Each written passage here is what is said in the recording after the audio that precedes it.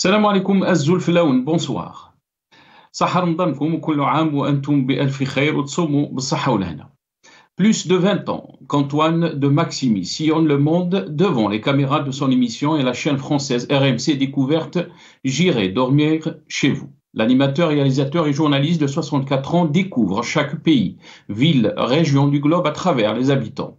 C'est ce que nous livre Antoine de Maximier dans sa série J'irai dormir chez vous, en nous amenant à la découverte de l'Algérie sous un, un angle inédit. Cependant, son séjour a pris une tournure inattendue lorsqu'il s'est retrouvé escorté par les forces de l'ordre, une situation à laquelle il n'était pas préparé.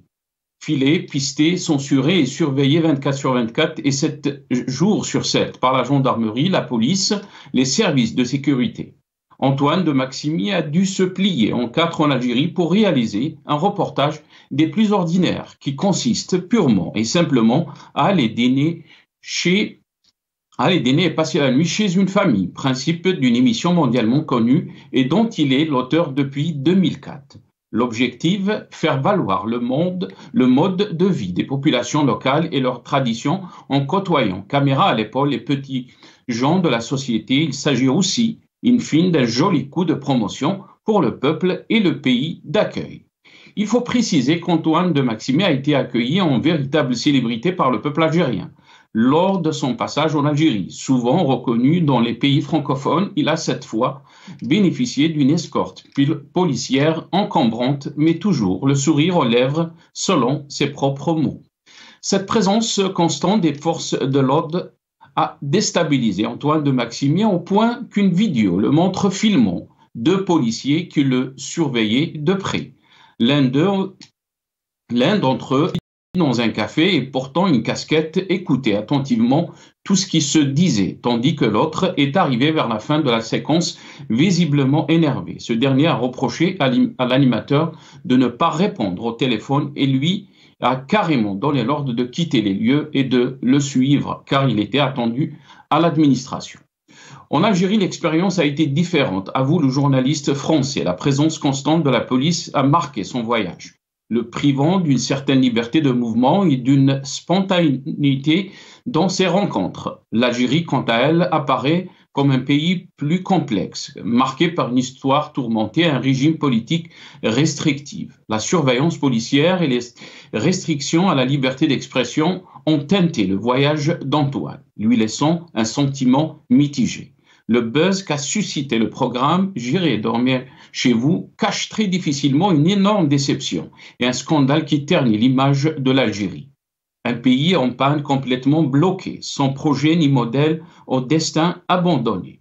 Cet état de fait risque de faire perdre le peu de crédibilité qui reste à ce pouvoir et entame définitivement l'image de l'Algérie nouvelle. Nous, débattrons de la dernière émission de Gérer, dormir chez vous, qui s'est transformée en Gérer, dormir escorté par la police juste après cette petite intro.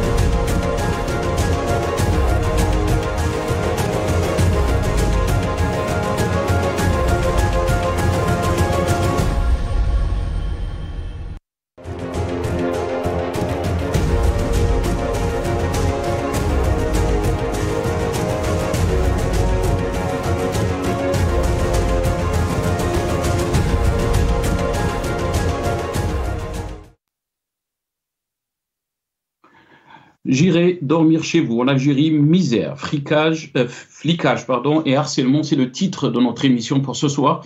Et pour en parler, j'ai le plaisir d'accueillir dans cette émission Abdou Samar, journaliste, directeur d'Algérie Part. Il est avec nous depuis Paris par téléphone. Abdou Samar, bonsoir, merci beaucoup d'avoir accepté l'invitation. Marhaba bik, ou Salam comme euh, mon ami, mon cher confrère, et toutes mes salutations à toutes les Algériennes et les Algériens, à tous les téléspectatrices et les spectateurs qui nous regardent. Merci beaucoup. Marhababik euh, Abdou Soumbar. On aura aussi le plaisir d'accueillir dans cette émission euh, Gamal Abina, analyste politique, spécialiste des questions internationales. Il est avec nous depuis Paris via Skype. Gamal Abina, bonsoir. Merci beaucoup d'avoir accepté l'invitation. Et Sahar Mdankou. Euh, Ramadan et euh, merci pour l'invitation. C'est toujours un plaisir de participer à vos émissions. Merci beaucoup, Gamal Abina. Merci. Euh, on aura aussi le plaisir d'accueillir Hamid Lelou, directeur de Run for Democracy en Algérie. Il est avec nous depuis Washington. Euh, par Skype aussi. Hamid Lelou, bonsoir. Merci beaucoup d'avoir accepté l'invitation. Marhababik. Saha Ramdanek, c'est Hamid. Bonsoir, Sahar Ramdanek, euh, Ramadan Karim à tous les musulmans dans le monde. Bienvenue à vos invités. Euh, merci pour l'invitation. Merci beaucoup, Hamid Lelou. Abdou Soumar, je vais commencer cette émission avec vous, mais avant de vous donner la parole, on va écouter juste la bande-annonce donc, de euh, J'irai dormir chez vous en Algérie, euh, spécial Algérie, donc, et je reviens à vous juste après. Là, je suis vraiment content d'être là parce que ça fait des années que je voulais venir. Malgré quelques restrictions. Je peux aller chez eux ou pas Non Non, J'ai l'autorisation de filmer et en même temps, je n'ai pas le droit d'aller chez les gens. C'est très paradoxal. Même s'il est connu. J'allais dormir chez vous. Et reconnu. J'ai vu toutes vos émissions.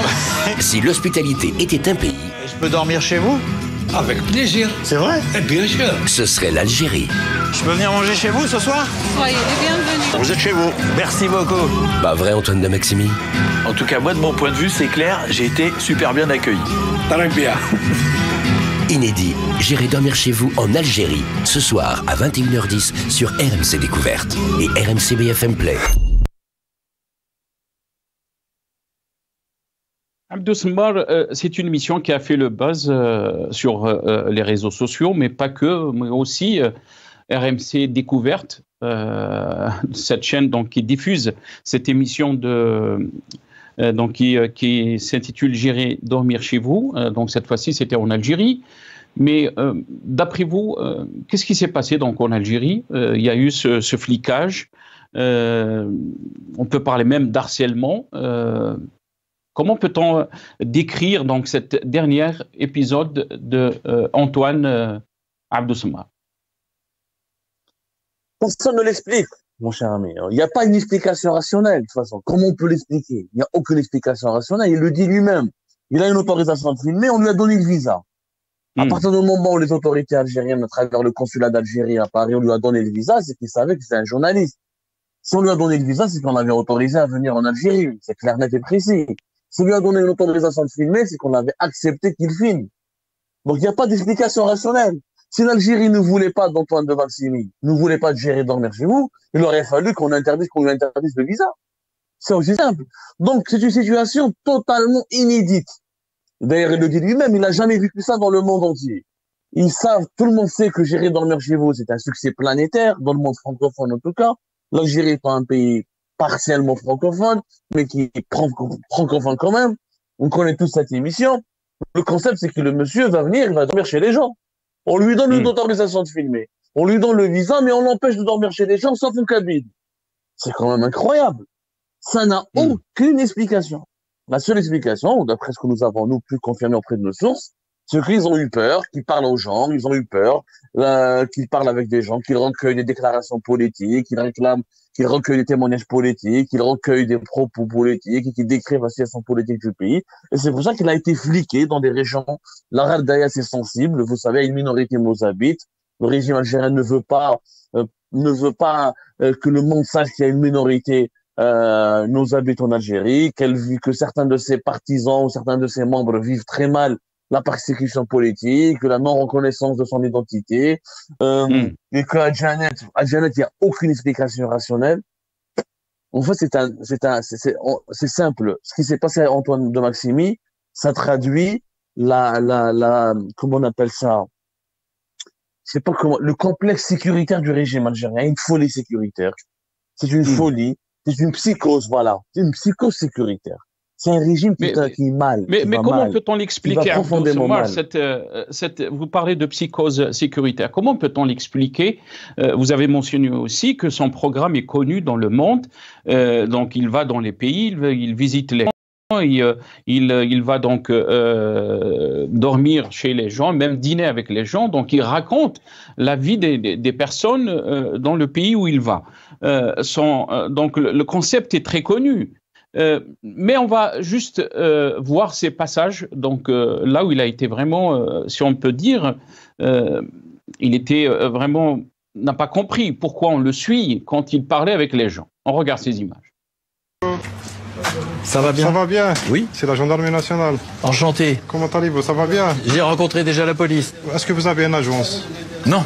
Parce que votre programme, est-ce que tu es, tu es ici en Jeannette ou tu fais une tour euh, en dehors de Jeannette Je vais probablement essayer de sortir un peu en dehors, Uh-huh. mais pas loin. Quand un touriste vient ici, Oui. il est obligé de faire un contrat avec une agence. Il ne peut pas sortir dans le désert seulement. Tu- Ah bon tu, tu veux, Oui, je comprends, pas tout seul. Euh, euh, parce qu'il y, a- il y a un risque de, de, de, de, te- perdre dans le désert. Mais si je vais juste 4-5 km, pas plus.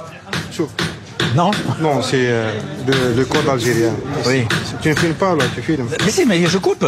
Euh, tu, C'est mon policier. Bonsoir. C'est mon policier. Vous m'avez suivi toute la journée? Toute la journée. C'est vrai? Non. Oui. Vous étiez là avec moi tout le temps? Toujours. Je vous ai pas vu cette fois-ci. Là, vous avez été très bon. Merci. Il est très fort. Merci. Il est très fort. Bon. Mais moi maintenant, Eh, si je veux aller chez quelqu'un, je peux. non, Mais si. interdit. Attendez, c'est vous qui m'interdisez ou pas? Ou c'est on vous a donné les ordres? Oui, c'est nous avisons. Les ordres, c'est que moi je vais chez personne. Oui. Bah alors demain je sors pas, ça sert à rien.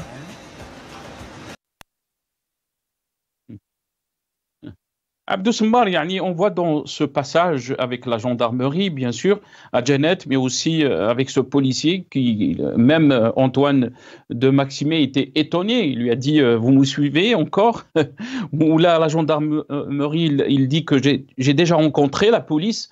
Euh, C'est des scènes qui donnent une image qui n'est pas excellente de notre pays, euh, Abdou. C'est chaotique, catastrophique, naturellement. Mm. Ces pas sont pas excellentes, mais le problème n'est pas là. Le problème, il, est, il, faut, il, faut, il, faut, il, faut, il faut regarder bien cette scène. Le policier lui a dit on m'a donné des ordres. Qui a donné des ordres pour empêcher Antoine de Maximi de dormir chez les gens à Raldea C'est ça la véritable question. C'est ça ce que les journalistes devraient euh, s'intéresser à ce problème-là. Qui a donné des ordres pour qu'Antoine de Maximi ne dorme pas chez les gens à Raldea à Janet? Il faut qu'il y ait une enquête. Puisqu'on lui a donné le visa, c'est que le ministère des Affaires étrangères a donné son feu vert. Donc le ministère des Affaires étrangères donne son feu vert, la police relève du ministère de l'Intérieur, donc le ministère de l'Intérieur ne donne pas son feu vert. Qui dirige en Algérie? Ça donne l'image d'un pays divisé, en guerre, en psychose. On dirait que nous sommes sur le point de déclarer la guerre à un ennemi qui cet ennemi. On dirait que nous sommes en Ukraine, ou même en Ukraine qui sont en guerre, on n'interdit pas aux journalistes d'aller passer la nuit chez les gens. Donc qu'est-ce qui se passe? Qu'est-ce qui se passe? Là, il faut une véritable enquête. Nous, on a essayé de comprendre. On a eu des réponses particulièrement étranges. C'est que voilà, d'ailleurs, c'est sensible. On a eu peur qu'il parle de politique, que ça va donner une mauvaise image du pays. Mais c'est là la mauvaise image du pays. C'est ce que vous faites. En lui interdisant de, de, de, de, on lui interdisant direct, en lui disant, lui comme à l'époque du régime de Bouteflika, les journalistes étrangers étaient suivis, surveillés, de façon fine, de façon intelligente, de façon assez euh, discrète, pas avec euh, bo- bosser brutalement. C'est tout simplement catastrophique. C'est à l'image d'un régime qui n'est pas sûr de lui-même, qui n'est pas sûr de lui-même. Et, et pourtant, le, le- le- régime euh, Abdou Semmar, il n'arrête pas de, de, de matraquer que l'image de l'Algérie, maintenant, a changé de le monde. Euh, Il parle même de la force de la diplomatie. Euh, il, parle, il parle aussi de la force de frappe de l'Algérie. Euh, alors que on est en train de, de découvrir que c'est un contraste par rapport à la situation que nous, vi- nous vivons. Et, mais aussi euh, euh, par rapport à, à cette émission de Antoine de, de, de Maximi. Si tu, le discours du régime algérien ne colle pas à la réalité. C'est Hmm. aussi simple que cela. Le discours du régime algérien, il est, il est pour la consommation intérieure. Il- le régime algérien veut maintenir le pays dans une situation de prison. C'est aussi simple que cela. Il n'y a pas d'autre raison. Là, on n'est même pas dans la politique ou dans l'actualité. Là, on est dans le décryptage psychologique et psychanalytique. Nous avons des dirigeants qui sont au bord de la schizophrénie de la psychose, qui souffrent d'une situation psychologique fragile et qui veulent nous maintenir en prison à ciel ouvert, dans une grande prison à ciel ouvert, pour pouvoir se maintenir aux commandes du pays le plus longtemps possible. Il n'y a autre lecture. C'est la seule lecture malheureusement possible. Hmm. Merci euh, Abdou Sammar. Barakallahu fik Abdou Sammar. Donc vous étiez avec nous, journaliste, directeur d'Algérie Part. Euh, vous étiez avec nous donc depuis Paris par téléphone. Merci à vous. Euh, Gamal Abina, je vais, je, vais, je vais revenir à vous. Vous avez entendu donc l'analyse d'Abdou Sammar, mais quand on voit un peu euh, cet épisode de, euh, J'irai euh, dormir chez vous, qui est, qui est connu comme concept, c'est le journaliste voyage un peu, un peu partout dans le monde, il rencontre les gens, et quand on voit ces, ces images de l'Algérie, ce flicage, on peut dire c'est un harcèlement. Euh, on se pose la question sur euh, la nature du système politique en Algérie, euh, mais aussi l'image de notre pays qui est véhiculée à travers le monde, Gamal Abine. Il y a plusieurs choses à dire. C'est dommage qu'il- que M. Semar soit parti parce que j'aurais pu répondre à plusieurs éléments euh, qu'il a utilisés en termes d'arguments qui étaient fallacieux. Euh, déjà, l'argument de l'Ukraine. L'Ukraine, on ne peut pas prendre de photographie. Donc, il parle de film. On est loin, un pays en guerre. Donc, il y a effectivement un régime militaire qui est installé. On ne prend pas ce risque-là. Ensuite, euh, c'est faire fi de réalité. En Algérie, évidemment, ça a été mal fait. Ils auraient dû être un peu plus discrets. Mais le trauma algérien, 20 ans, c'est- récent, c'est pas vieux. Hein. Euh, une guerre civile qui a duré avec des milliers de morts, avec une véritable catastrophe en termes euh, humains, en termes de l'image. Ce trauma est resté et il faut pas au perdre de vue que euh, personnalité comme celle-là qui va en Algérie. Bon, moi je regarde pas la télévision, mais j'ai entendu parler de ce programme, j'ai regardé quelques extraits. C'est une personnalité qui a, un prix, qui vaut cher. Si n'importe quel bandit ou n'importe quel trafiquant ou n'importe quel combattant dans, dans le Sahel met la main dessus, il y a un risque effectivement de demande de rançon et l'Algérie ne veut pas entendre parler de cela. Il n'est pas le seul dans ce cas de figure. La plupart des gens qui ont une personnalité qui sont un peu connus sont escortés en Algérie par la police. C'est difficile, c'est euh, assez pesant pour la vrai que euh, là où ils n'ont pas été malins, c'est que le fait de refuser qu'ils dorment par exemple à domicile, c'est une faute à mon sens. Ils n'auraient pas dû faire ça. C'est le principe de l'émission. Et l'autre aspect important, c'est de rappeler quand même que c'est là où j'aime bien le côté exagéré, on met tout dans tout. Non, il y a quand même des choses, il faut être un peu sérieux. Quand on va sur Alger, c'est beaucoup moins lourd et moins pesant. Quand on va à Ardaya ou dans le sud extrême algérien, évidemment, on est aux portes de, de zones grises dans lesquelles il y a encore des combattants, dans, dans lesquelles il y a encore des trafics, il y a des tensions avec le Mali, le Niger, il y a plein de choses comme celle-là qui font que les autorités algériennes ont une forme de paranoïa qui est réelle, qui peut se comprendre quelque part, et euh, elles font très attention à ce qu'une personnalité aussi connue que cet homme ne soit pas effectivement l'objet d'une négociation avec une prise d'otage. Donc c'est une des raisons pour lesquelles ça a été fait. C'était mal fait. Il aurait fallu effectivement ne pas lui interdire d'aller chez les gens. Il aurait fallu donner, parce que l'Algérie, il faut le rappeler, proactive en matière d'influenceurs. Elle met le paquet pour qu'il y, ait qu'il y ait des influenceurs qui parlent du pays. Donc il y en a beaucoup qui partent en Algérie, beaucoup moins connus que lui, qui font leur travail, mais qui ne vont pas dans l'extrême sud parce qu'effectivement, dès que vous arrivez dans la zone sud, il y a une tension, il y a une crainte, il y a des groupes armés qui résistent toujours, qui existent toujours, qui viennent de Libye, du Mali ou je ne sais pas. Donc euh, c'est vrai que c'est une des raisons pour lesquelles le régime algérien aujourd'hui a installé un système de sécurité extrême pour ne pas tomber dans ce piège-là, parce que c'est déjà arrivé de par le passé, et c'est très étonnant que M. Abdel fasse fi des réalités du passé. Il y a déjà eu des prises d'otages, il y a déjà eu des morts, il faut se rappeler, hein, on se souvient aussi de, de l'affaire d'Inaménas, donc euh, il faut être un petit peu sérieux là-dessus. Je pense qu'il y a un vrai trauma et que le gouvernement ne prend aucun risque, tout simplement. Très bien. Euh, Hamid, Hamid Lellou, euh, votre réaction par rapport à ce que vous avez entendu? Euh, Bien sûr, il y a eu, il y a eu un passé euh, donc en Algérie, euh, il y a eu des traumas. Vous avez entendu donc Gamal Abina, l'argument de Gamal Abina, mais aussi la question qui se pose, le format de cette émission était connu. Euh, des services de sécurité, c'est sûr qu'ils ont visionné des émissions et des émissions de, de Antoine de, de Maximi.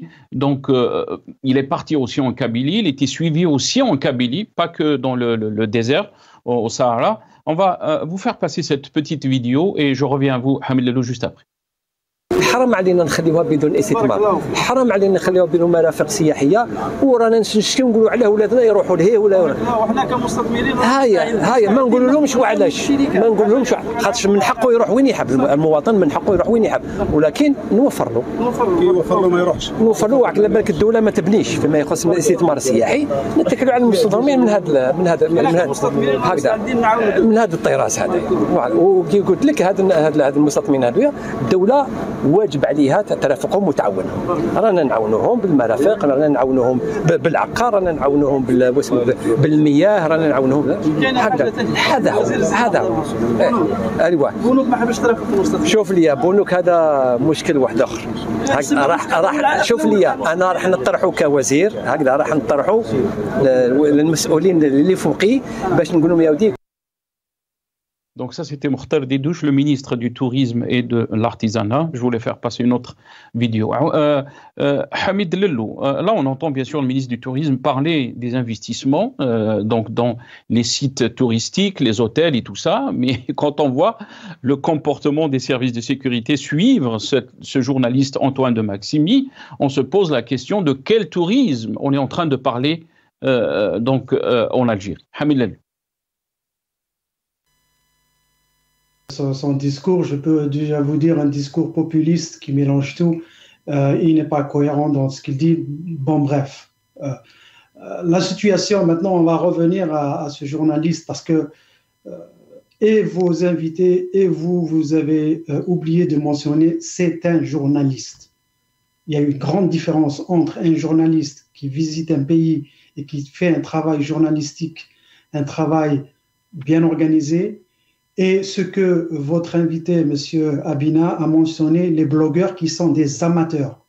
C'est mmh. des gamins qui prennent une caméra, un téléphone et qui sont payés par l'Algérie, euh, même encouragés pour venir parce que ce ne sont pas des journalistes. Ils montrent ce que l'Algérie ou le régime algérien voudrait bien montrer. Donc, il ne faut pas comparer l'incomparable. Là, on parle d'un journaliste qui fait un travail qui semble être un travail de, de blogueurs, mais c'est du journalisme. La situation qui a été créée, ce n'est pas une situation complexe, parce qu'elle est complexe, mais à la limite, une situation complexe, on peut la comprendre, on peut joindre les bouts. La situation qui a été créée, c'est une situation paradoxale. Paradoxale du fait de l'amateurisme des services algériens, que ce soit au niveau de l'ambassade, au niveau du ministère de l'Intérieur, qu'au niveau des services de sécurité. Le problème qui se pose, oui, je suis d'accord avec M. Abina que euh, les ambassades euh, étrangères américaines et canadiennes conseillent à leurs euh, ressortissants de faire très attention quand ils sont dans les villes et de ne pas s'approcher des frontières. Je pense que l'ambassade américaine et canadienne, elles disent 200 kilomètres loin des frontières maliennes, nigériennes et mauritaniennes et 50 kilomètres avant d'arriver aux frontières euh, libyennes, marocaines et tunisiennes. Donc les ambassades, elles sont au courant. Et cette euh, force de frappe, comme vous l'avez bien décrite au début, elle est incapable d'assurer la sécurité des touristes. Euh, on peut toujours parler de ce traumatisme des 10 ans.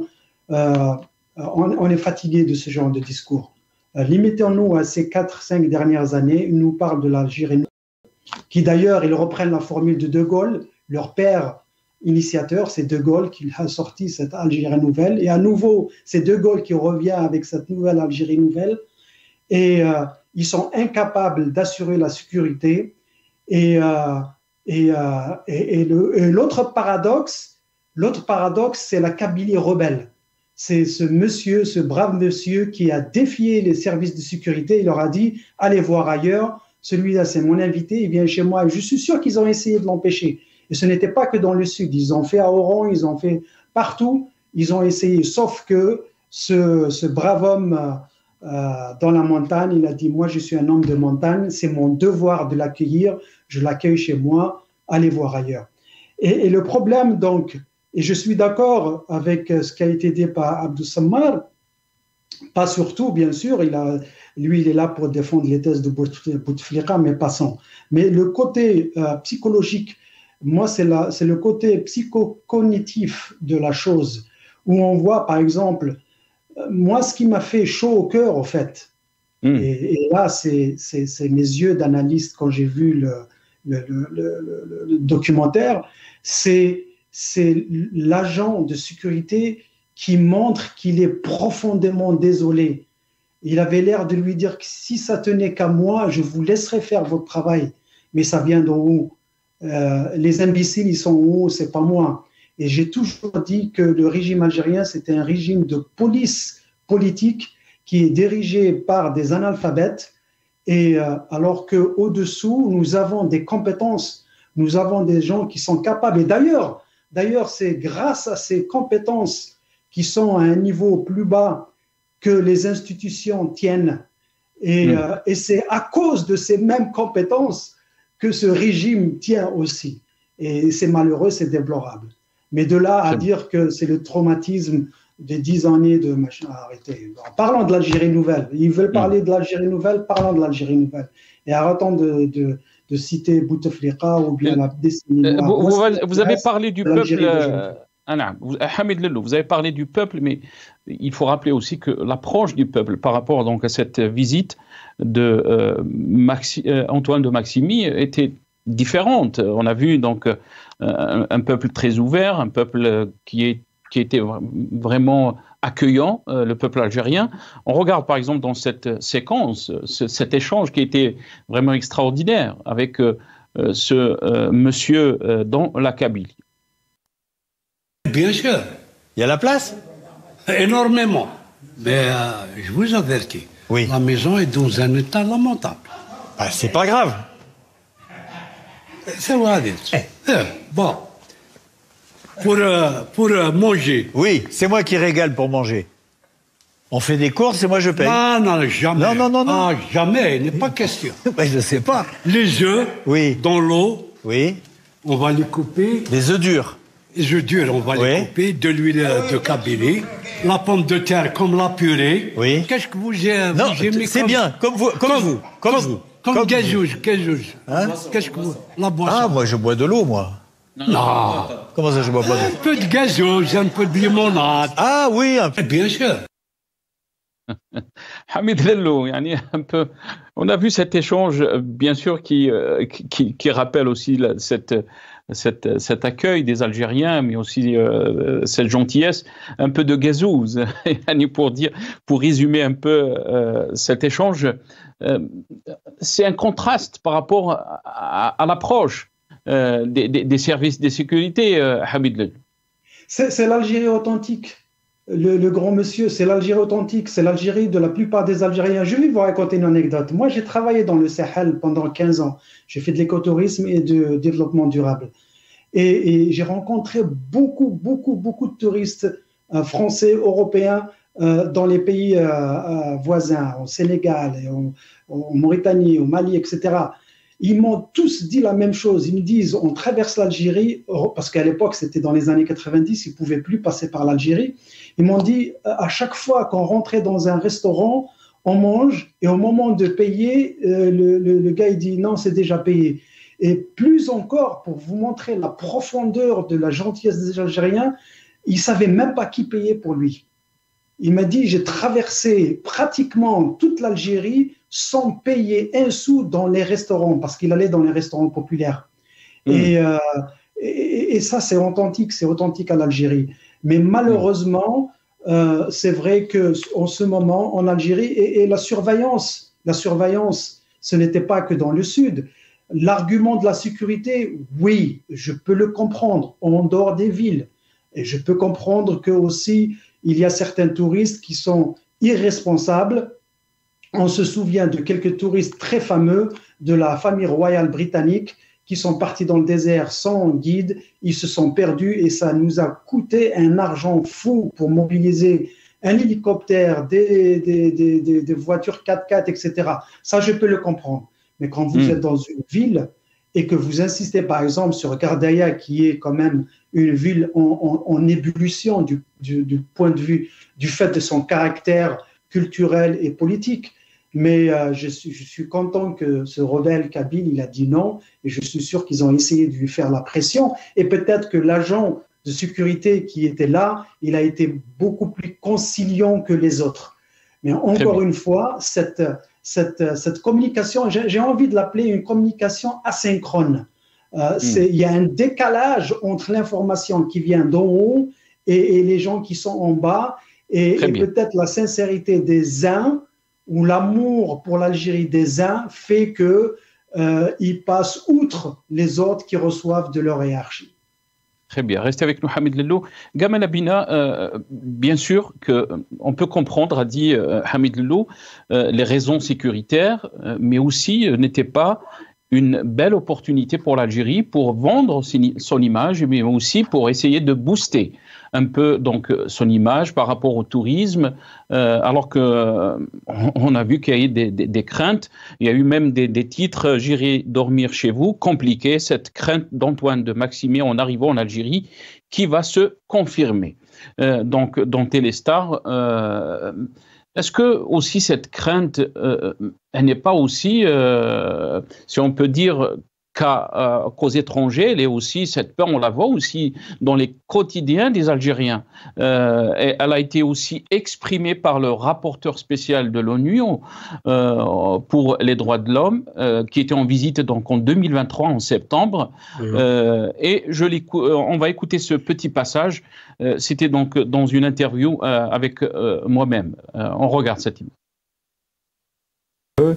Depuis 2020 jusqu'à aujourd'hui, il y a quand même beaucoup d'années qui sont passées mmh. et qu'on doit nécessairement se, vraiment faire en sorte que ces normes ou ces lois qui sont fondamentalement en contradiction avec l'esprit de la Constitution de 2020, il faut les changer le plus tôt. Sinon, le peuple continuera à vivre dans, ce, dans cette peur. Disons, nous, avons, nous, nous, nous voulons aller en démocratie. La peur dont je parle là-bas, c'est toute cette cascade, de, je dirais, de procès mm -hmm. qui ont eu lieu et qui font en sorte que les gens, aujourd'hui, au vu des, des, lois qui sont en cours, se demandent, mais est-ce que je peux valablement critiquer ou dénoncer une corruption sans, sans aller en prison?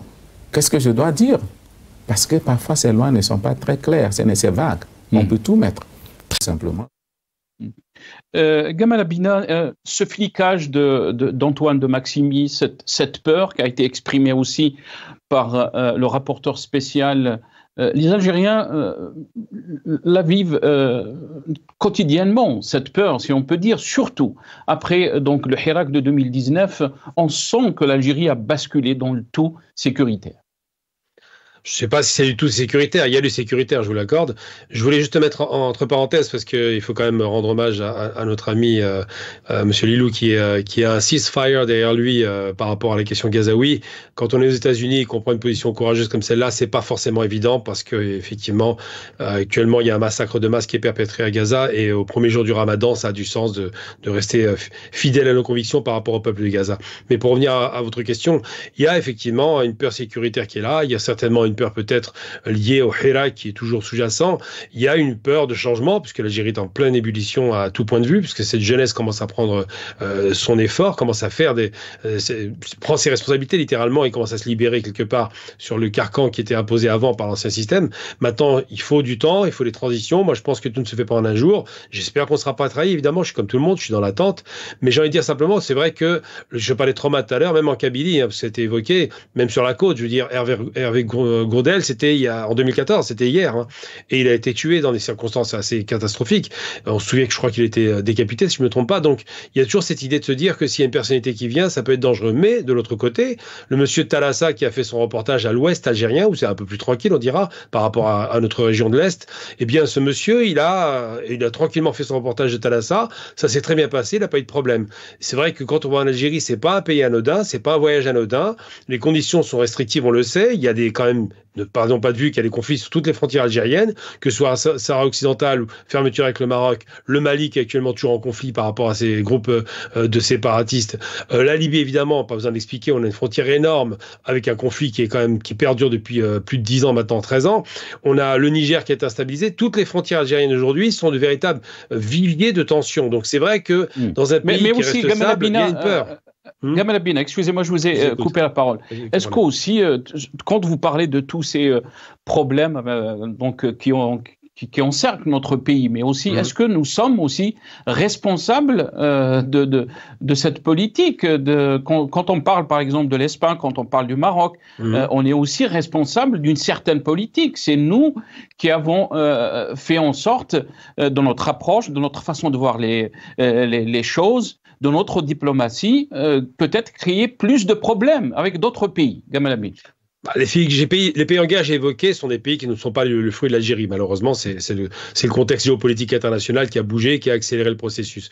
Euh, le, le Mm. Mali, ça fait, ça fait plus de dix ans. Le Maroc, par contre, il faut rappeler quand même l'origine du mal, c'est qu'il y a une, une reprise du conflit au Sahara occidental initiée par le gouvernement marocain et pas par les Sahraouis. Les Algériens ont pris fait et cause pour les Sahraouis pour des raisons X ou Y qu'on va pas évoquer, c'est trop long. Hein, ça, on parle pas de la marche Mm. verte ou même de la guerre de 63 parce que c'est un peu trop compliqué. Mais une chose est certaine, c'est que ces conflits qui sont aux frontières algériennes inquiètent le régime. Et de l'autre côté, on a un peuple qui est effectivement, si vous le rappelez, moi j'aime beaucoup qu'on rappelle cela, un peuple qui est généreux, c'est vrai, indiscutablement, accueillant, avec un franc-parler qui est indiscutable. Quand on voit ce vieux cabine, me rappelle mon oncle, lorsqu'il parle à, ce journaliste, alors c'est un journaliste qui était à l'époque journaliste de guerre et qui aujourd'hui est animateur. Donc c'est une émission surtout grand public, effectivement. Donc il n'y a pas de révélation à faire. Il veut montrer la beauté d'un pays et la, la réalité de son peuple. Eh bien, lorsqu'il lui parle spontanément, mais viens, il n'y a pas de problème. Cette façon de parler, moi, ça me fait rire. Parce que là, on sent un accueil à la fois euh, très rageux, très, très, très fort et en même temps très sincère. C'est-à-dire qu'il n'y a pas de demi-mesure. Quand tu lui proposes la gazouse, il n'y a pas à négocier. Donc ça, c'était très, touchant, je trouve. Ça m'a fait bizarre de revoir ça d'ailleurs.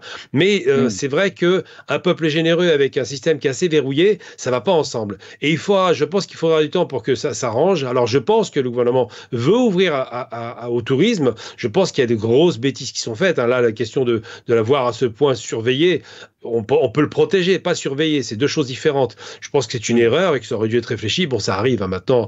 On sait qu'on n'a pas eu aussi en Algérie, il y a aussi des gens qui sont incompétents, et euh, c'est des questions qui se posent. Par contre, évidemment, on sent bien que le peuple algérien est demandeur de cette, euh, cette ouverture au monde, et que c'est une façon un peu de lui confisquer ça. C'est un peuple qui est généreux, c'est un peuple qui est ouvert, c'est un Mm. peuple qui est intelligent, on l'a oublié, Mm. et c'est un peuple qui mérite pas de rester comme ça enfermé dans un territoire, même s'il est immense. Quand vous dites euh, ce peuple ne mérite pas d'être enfermé, euh, vous parlez de politique, bien sûr. Quand euh, Mhm. vous constatez, je sais que vous suivez bien sûr de près ce qui se passe dans notre pays, euh, quand vous constatez les politiques qui sont euh, donc pratiquées depuis 2019, est-ce que vous pensez qu'on est dans le, euh, on va dans le bon sens euh, par rapport donc à cette ouverture que vous êtes en train de euh, de, de, de, parler? Moi, je- j'ai envie de dire simplement, je suis quelqu'un d'optimiste, hein, je suis pas quelqu'un de pessimiste. Je resitue le contexte. Mon père a été torturé en Algérie pendant un mois et demi en 84. Donc, j'avais aucune sympathie pour l'ancien système. J'espère que l'Algérie va évoluer, qu'on va se détacher d'un système sclérosé. Donc, ça, c'est des choses qui sont placées. Il n'en demeure pas moins qu'aujourd'hui, mon optimisme me pousse à penser que la jeunesse est en train de prendre sa part euh, de ses responsabilités essentielles parce qu'elle est formée. Et j'espère effectivement que les dirigeants auront l'intelligence d'ouvrir de plus en plus à cette jeunesse qui a des compétences. Il y a des choses qui sont arrivées. Par exemple, je passais sur Canal 22, j'avais dit à l'époque, le Canal 22, c'est l'enfant du Hirak avec de la qualité qui arrive. C'est ça que j'espère. Alors je dis pas que ça va marcher, je vais pas, je n'y je lis pas dans le mar du café, mais j'espère effectivement que ça va Mm. évoluer dans le bon sens, que notre pays qui se développe de plus en plus va laisser de la possibilité à cette jeunesse de s'exprimer sur le plan économique, culturel, médiatique, et qu'on pourra enfin espérer voir une nation qui prend sa place au sein du concert des nations, mais surtout au sein de l'Afrique, une nation qui sera à la hauteur des enjeux qui sont devant nous, parce que nous sommes responsables devant notre peuple évidemment, mais aussi devant la Méditerranée, devant l'Afrique, devant le monde arabe. Il y a une responsabilité Très commune, donc c'est important de le rappeler. Très bien, restez avec nous, Gamal Abina. Euh, euh, Hamid Lello, quand euh, on parle de cette émission, on est en train de parler de cette émission donc de d'Antoine de Maximi, euh, cette peur qui a été exprimée, donc ce flicage euh, qu'a donc euh, vu Antoine de Maximi, qu'est-ce qu'il démontre par rapport à l'état de ce régime, de ce pouvoir algé- algérien? Il est important de mettre notre discussion dans un cadre. Euh, Mm. Si Abina, j'apprécie bien d'échanger, mais de grâce, n'allons pas dans les années 70, 80, ça ne m'intéresse pas. Moi, je suis ici pour parler de ce régime qui n'arrête pas de nous rabâcher la géo-nouvelle pendant les cinq années. Qu'est-ce qui s'est passé? Vous l'avez vous-même dit. Vous avez dit qu'ils ont fait une bêtise. Au lieu de surveiller euh, le, le- le- le- le monsieur, le journaliste, ils auraient dû le protéger. Et je suis tout à fait d'accord. Ça, c'est une bêtise. La deuxième des choses, Vous parlez de l'ancien système, il n'y a pas d'ancien système, c'est le même système qui réagit encore plus brutalement parce qu'il est en train de punir un peuple qui a osé le défier. Euh, Tebboune, il est là depuis 60 ans, 50 ans, euh, tout le monde, tout le monde est là, sans exception. Et les jeunes qu'on a, peut-être vous, vous faites partie de ces jeunes et d'autres qui sont ministres et tout ça, c'est. Ils sont là juste pour les gradins, pour remplir les gradins, pour dire voilà, l'Algérie nouvelle, nous avons des jeunes. Et on sait que eux, c'est du fusible qui saute toutes les cinq minutes. Troisièmement, l'optimisme.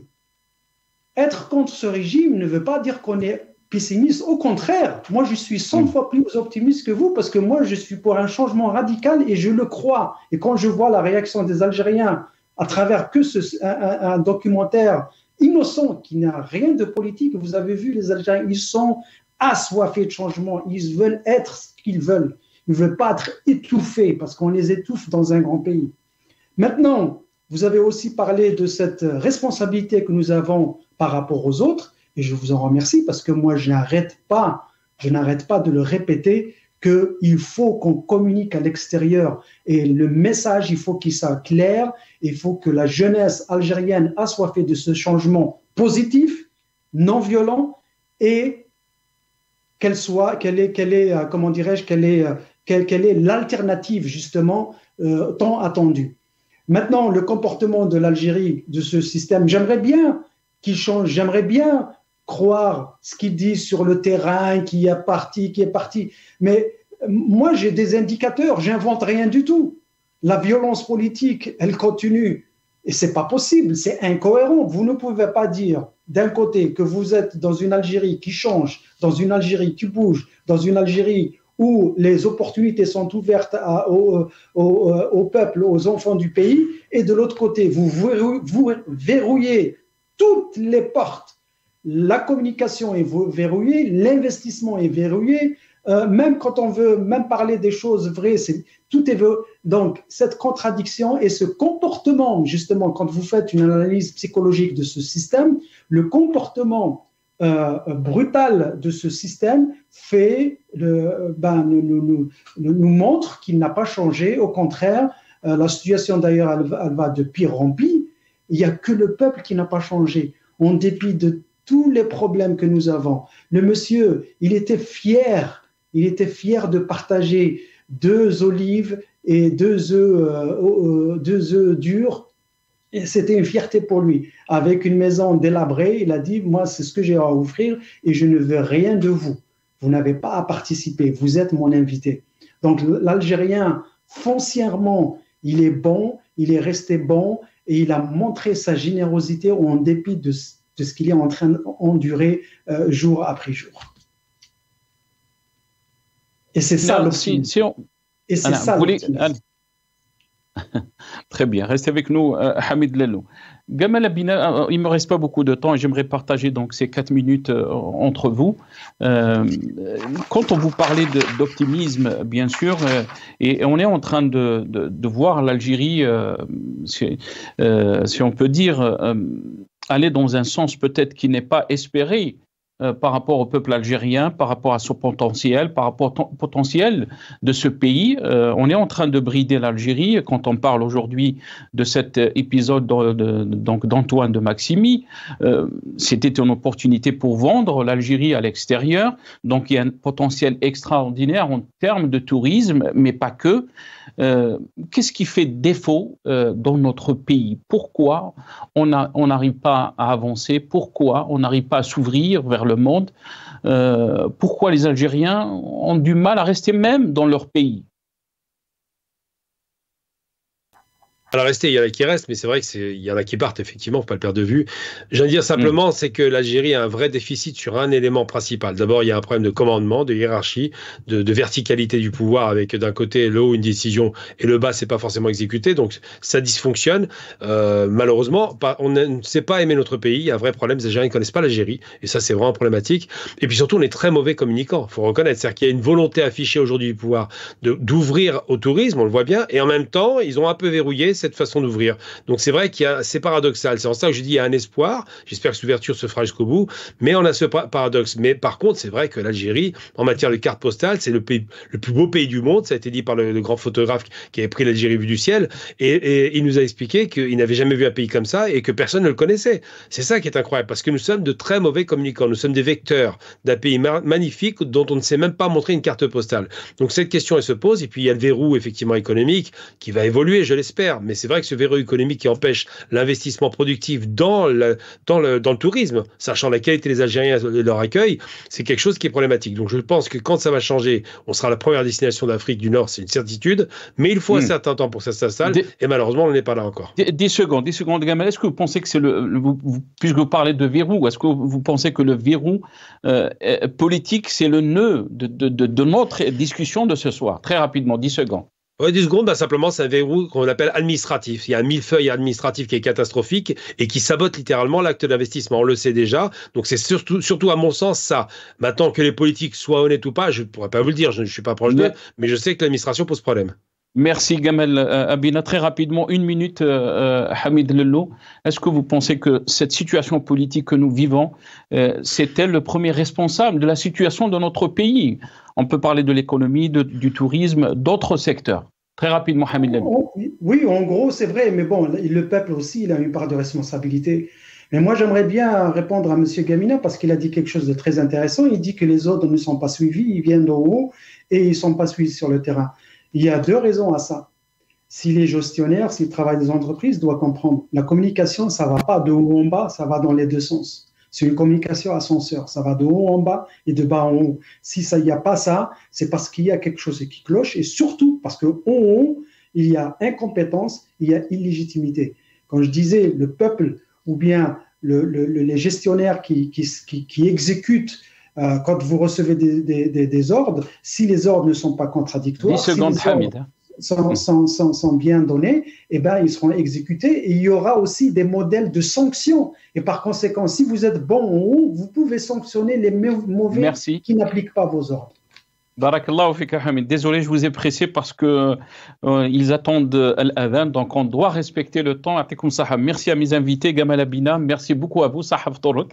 Euh, J'espère que vous avez aimé donc cet échange avec euh, notre cher monsieur euh, dans la Kabylie. Merci aussi à Hamid Lello, Sahaf Torkom, Sahar Mdarkom.